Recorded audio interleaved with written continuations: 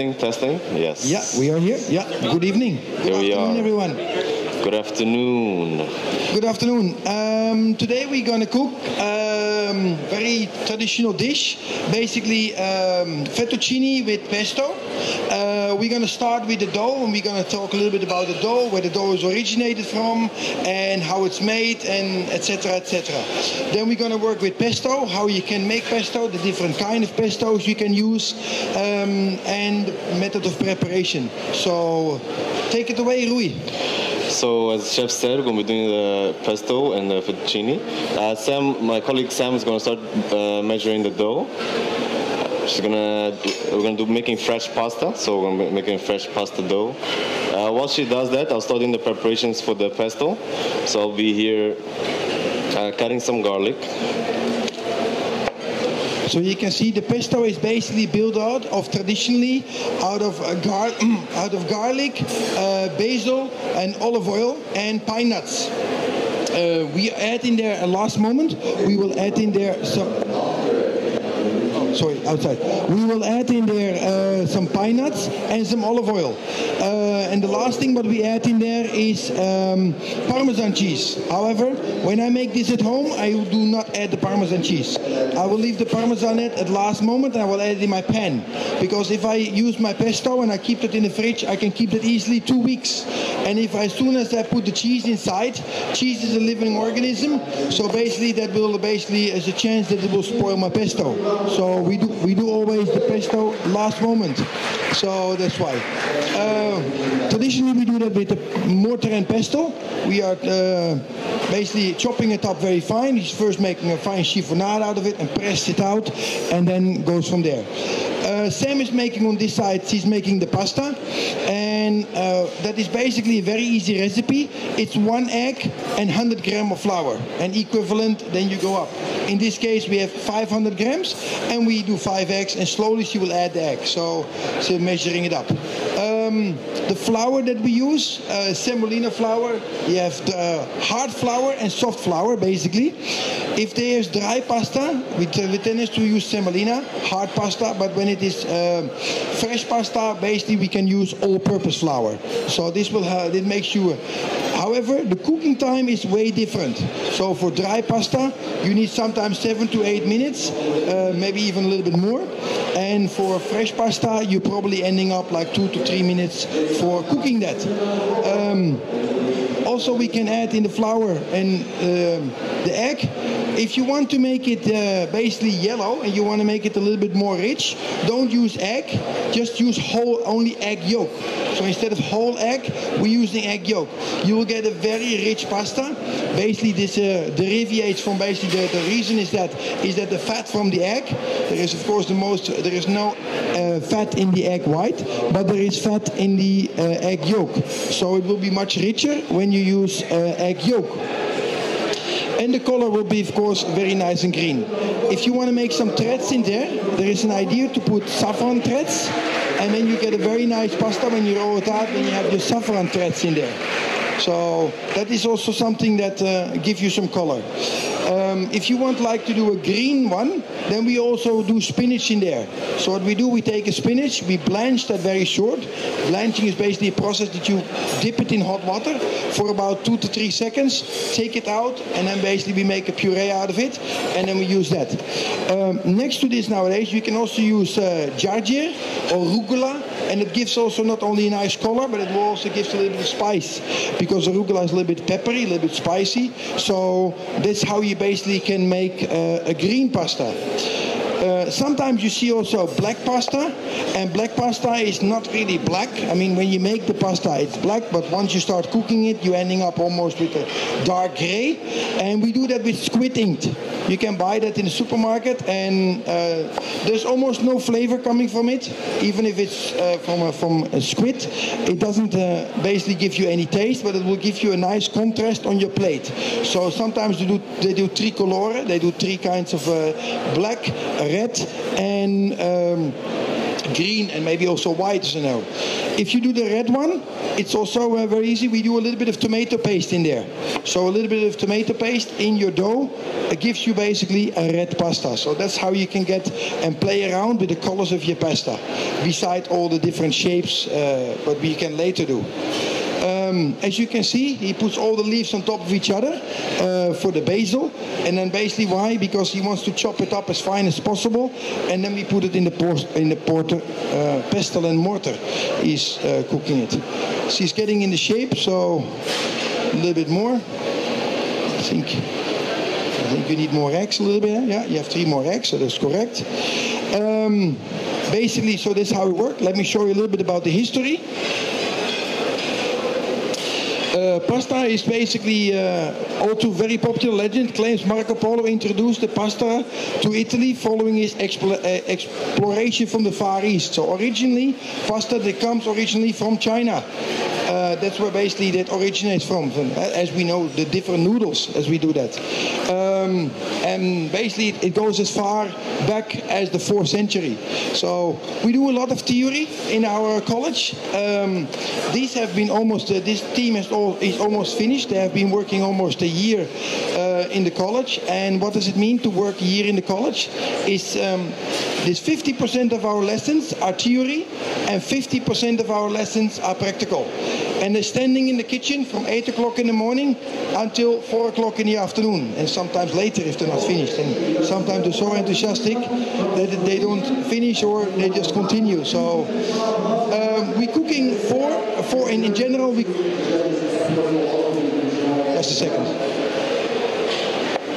Some competition behind is happening here unfortunately. Unfortunately for them. Um, so basically we, we cook around four dishes uh, per practical and we're repeating the, the techniques. So it's not so sincere about learning a particular dish. That's not uh, important. The importance is when we learn how to cook is basically getting master and mastering all the techniques that we're using. Cooking, poaching, grilling, uh, sauteing, sous vide. So all the techniques we basically repeat and repeat and we do that with different dishes. So that's how we do that. On one day you have theory. The theory is also uh, full days from basically from 8.30 in the morning until 4 o'clock in the afternoon in blocks two. And then basically you do the whole day theory. And then after you have done the theory, you still have homework. So quit a little bit homework because we have learning activities based on the theory. So then you have to basically refer to everything what we have learned in the class. Um, then put that on paper. And that's what your assessment. Yes, Louis. So right now, chef, I've just added the basil. I've started crushing it and making the pesto. Now I'm going to add the garlic. So as the sequence goes, you add the basil first. Add a little bit of salt to help crush and resalt the oils. And then add the garlic and try and make it as fine as possible you said already, yeah, he adds a little bit the salt. Why? Basically, because the salt will extract the moisture and it will make it much easier to make it a paste. So that's the reason. Everything what we do in the kitchen has not only a reason, we also try to explain and to understand why we add a certain product in a certain sequence and to make sure we understand why we do that. Because these techniques you can apply to many, many other dishes. It's not about the dish that we cook, but it's all about uh, the technique that we are using. So so this is really important. So we're getting there. Oh, a little bit more, a little bit more flour. Oh, rolling boil. So that's with the pesto. Um, as I said, we have to do the theory the whole day, and then they go home and basically, and then they have to do the uh, learning activities of the theory. Next to that, on the next day, we have then a practical. But you cannot just show up for the practical. Basically, you go, you go in the system and we discuss during the class of the theory what we're going to cook for the next day. And based on that, you have to do the preparation. So exactly, we are going to understand what we're going to cook, how we're going to cook it, what technique is we going to use, and then they're going to make a workflow plan. So in which sequence we're going to produce our items. So everything will be done in steps and in steps. Then they will come the next day. They will come to the to the school and we do the practical, everything what they have prepared. And this is also very important because everything is then documented. So every step that they prepare will be documented. So they make a mise en place, your preparation, as we say, eh, in the mise en place in the kitchen, and everything will be. You make a photo of it, and you make a picture of your mise en place from everything that you need. Then, once all your mise en place is ready, you're going to start producing. You're going to start cooking. And then you, all the cooking techniques, you make a picture of that also. What you cook, how you cook it, and there will be pictures made of that. You do that yourself. Once that is done, then in the end you come to presentation or preparation presentation. So you make also pictures of your presentation, how you serve it in a plate, uh, in a bowl, whatever you want, and with your decoration. Once that is done, um, yes, it works a little bit easier. Olive oil, of course. Eh? With Italy, so we try to work always with olive oil. We go through all the steps and make this thinner and thinner and thinner. As long as you can, at the end, look through it, then you have the right thickness achieved. If you want to make dry pasta, you can make also dry pasta out of this. That's very easy basically you basically layer it out on a big tray and you put it in a place where it is warm and dry, low humidity. If you have high humidity, you have tried. They have a chance that you get fungus, so that's why. Um, for the people who do not use, uh, who are vegetarian or vegan, and do not use eggs, you can also use water. So basically, industrial pasta, as we know that and we buy in the supermarket, is only made from water and durum wheat. Durum wheat is semolina, so let me see if I had something on it. I will come later to that. It's made from durum wheat, and it is a hard wheat. So it's basically, and that basically it takes longer to cook, but there is also a benefit out of this. And it is uh, when you uh, go and eat somewhere in a restaurant or you're going to eat on a buffet, they will also use always use dry pasta. They will never use fresh pasta. And the reason for that is, if you would make that from fresh pasta and you leave that in your plate or you leave that in a dish, after five to ten minutes, it will be one lump. It will all stick together. So that is typical of fresh pasta. So dry pasta doesn't have that, and dry pasta separates it. So is it. One more. Yeah, it looks good. So. And then once he's finished, we will roll out the pasta thin, fettuccine, and we put it on here in a flour, in a little bit of flour, so it doesn't stick, it doesn't stick together. See, now we're reaching the right thickness.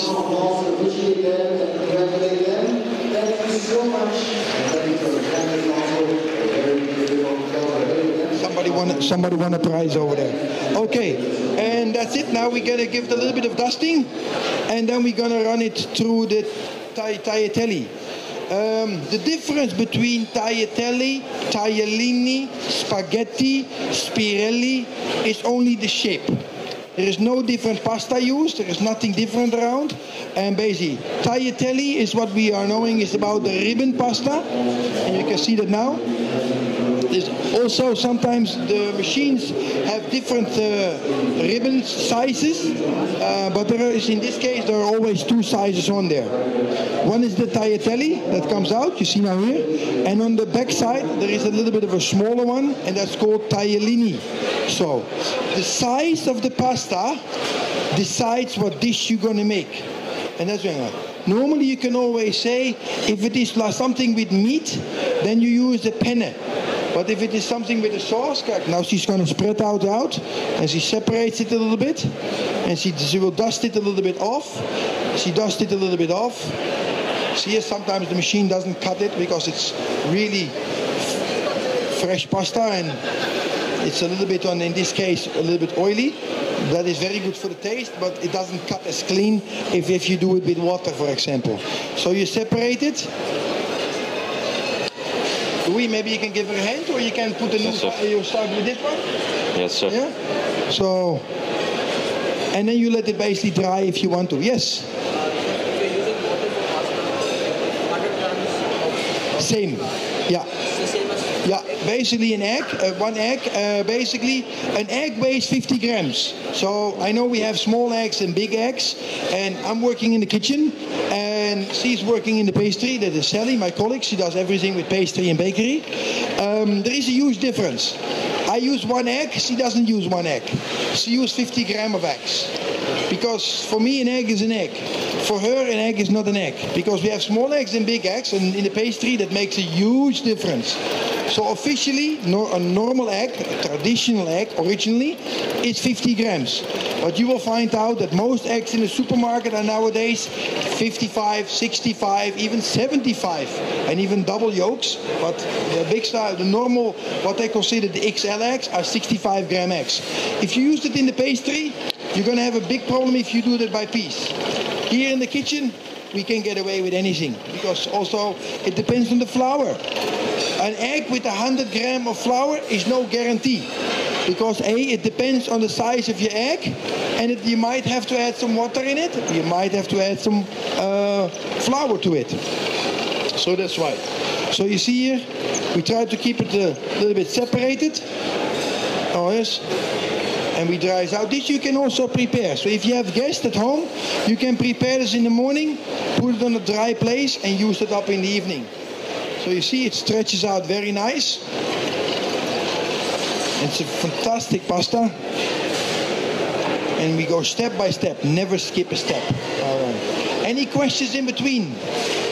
Not yet? Let me you a little bit about pesto. Okay, uh, the history of pesto, um, basically it comes all from a very long time, also from the Roman age. An ancient Roman used to eat a similar paste um, and was called made from uh, garlic, salt and cheese and herbs and olive oil and vinegar, sometimes pine nuts. You do not have to use pine nuts. Pine nuts are very hard to get. That's number one. But pine nuts are also expensive. So if you say I want to use another nut, um, they're not the cheapest, but we also make the same recipe, and we use in this case we use pistachio nuts because it gives a really really great taste. So pistachio nuts will also be a very good option for that.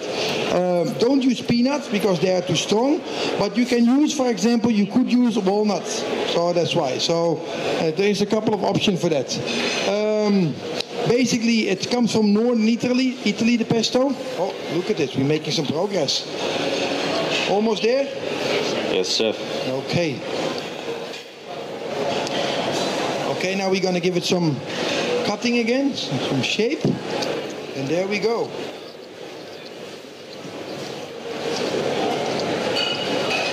A nice pasta that people are getting uh, overweight, that doesn't come of what they eat, it comes mostly from the problem of the amount they eat. So that's really important. So we really focus separately also on the on the totally of the calorie value of the dishes. So that's really important. So he makes the you see already nice green sauce. Looks fantastic also when you want to thicken up your sauce, so he's now adding the pasta inside, and sometimes your pasta you want to thicken it up a little bit, you can use the pasta water to regulate the thickness of your sauce. Mm-hmm. Because the pasta water contains the starch, so that will help you then basically to regulate the thickness. And it's all original, so basically all natural product. You see over here, also what you see here in the kitchen, we you tend to use cooking cream. Sometimes you have whipping cream and cooking cream. So cooking cream is always cheaper than whipping cream. Anybody knows why? Exactly, the fat content. Anybody knows the fat content from whipping cream? 35, 36%. Cooking cream? Exactly. So lower even. So basically, we can go to 27, 25, and again, the lower the amount uh, of fat is that, of course, the cheaper the, the basically the cooking cream is. Um, there is a benefit in this case to use cooking cream above whipped cream because basically the, the chance that if it use whipped cream the fat will separate during the cooking and it will shift as we call it shifting of there it will separate but we still get the creamy flavor. So don't waste your money. Use a proper cooking cream um, use a proper cooking cream when you make this. Don't use whipping cream. Use that for your desserts. So that's why. There is a lot of qualities. There is a lot of brands of cooking cream and whipping cream. The taste is different? Yes, there is a huge taste. And there is also a big price difference, but once you taste it, then you quickly find out, yes, there is a difference. So I would advise you, if you buy that, take one and another one, and next time you buy another brand again, and then remember how it tastes, because there is a huge difference to it. They're going to taste it up now. Um, always make sure before you do it, salt and pepper. And then the last thing we have basically here. Uh, okay, and if you want, basically, uh, we can put some lemon zest or some orange zest or lime zest over the top. So that will be really, really, uh, that would be really nice. When you're preparing your dishes, you want to have always a combination, not only of flavor, but we're also looking for a combination of taste and a combination of texture. And what I mean a combination of texture is that he puts, of course, a very soft pasta inside, very creamy. But when we serve it, we put inside, we put a cheese cracker, which is basically nothing more than parmesan, grated in the oven, and then make a cracker out of it. And then you put that on top of it, because again, then you have this salty, crunchy experience over there. So now he's tasting to make sure that it is the right taste. Good, chef. Ready to go? Yes, chef. Okay, get a tongue and serve it. Let's get it out and let's see if we can serve some guests. And you see already, eh? He is cooking one dish and Sam is already working on the second one. This is how it works in the kitchen. You have to be very, very methodical and in a sequence how to prepare you to get the next one ready. So that's why. And hopefully he will have all his pasta out before she's ready. And otherwise he has to use a bowl. Uh, Khadija, can you give the bowl from behind her so she can use that? If you want to save your pasta and it is hot, use a little bit of olive oil. So have your bottle of olive oil ready and then basically put your uh, scoop out your pasta from your hot water, drizzle it directly with hot olive oil, uh, with olive oil, and while it's hot, toss it around, and then it will not stick. So that's why. So yeah, let me show you it around. I will leave this here for the for the photo. Um, that's how we basically serve, would serve that for a guest in a in a restaurant.